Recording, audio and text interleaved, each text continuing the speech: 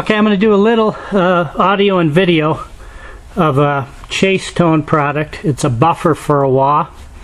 Um, so if you're serious about uh, having a silicon fuzz face rather than germanium, um, you're going to have some issues if you're playing through a stock uh, uh, King Vox, uh, Vox wah, or Crybaby wah. Um, and the issues you'll have is um, you'll get a lot of squeal and noise and oscillation uh, from a silicon based fuzz face than you would a germanium. Um, so I'm going to do a little demo here and you can you can tell uh, by all the noise this thing's going to make. Um, so if you're sold on uh, silicon fuzz, uh, you probably want to try to get one of these buffers installed because uh, it just won't interact with the wah right. And uh, you know this the signal chain Hendrix used was uh, basically guitar wah, Octavia, fuzz face, Univibe, and then out amps. Um, so if you put it in that order, you'll see that this thing's just going to squeal. And um, I've tried uh, you know, put in the fuzz in front of the wah, uh, but it just it doesn't interact the way it's supposed to. So uh, what I have here is I have uh, uh, King Vox wah that Kyle over at Chase Tone installed in an old King Vox wah, and then I have another wah over here. that's a genuine Clyde McCoy from the 60s. That's all stock except for a true bypass switch because um, wahs tend to be tone suckers.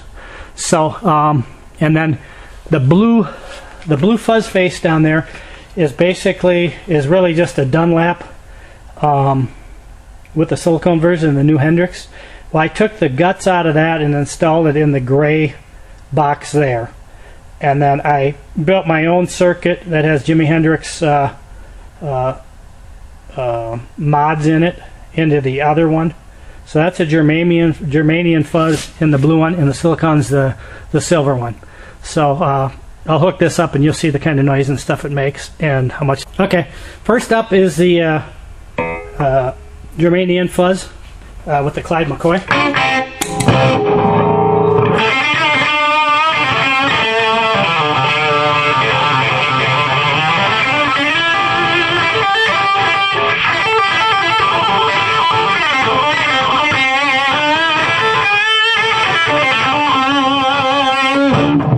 Now the King Vox with the German.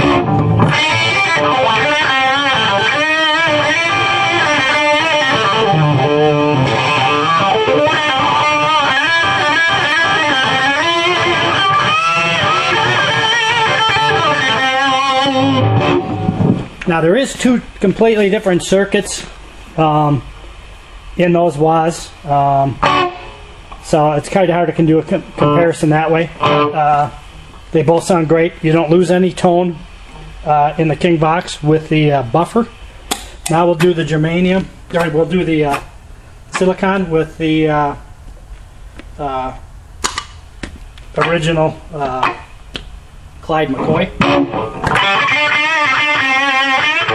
Sounds pretty good in the treble position, but as soon as you back off, all you get is squeal.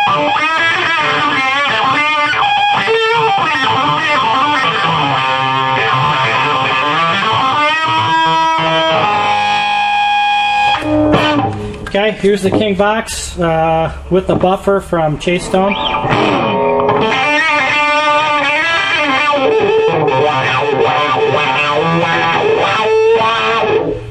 So no buzz, no oscillation, no noise, and you don't lose the tone.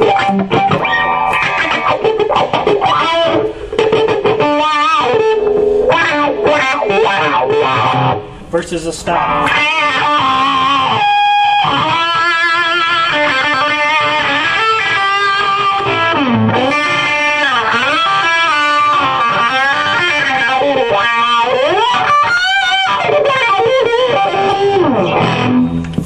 So if you're sold on the uh, the higher gain uh, silicon fuzz um, and you're incorporating the wah, you might want to check this out. Uh, Kyle is a great guy. I've done a little bit of dealing with him. Um, check out his website. I haven't uh, I haven't had the chance to uh, playthrough with one of his fuzz facers or raws, but uh, they sound incredible, and he's got a huge reputation out there. So check it out. Thank you.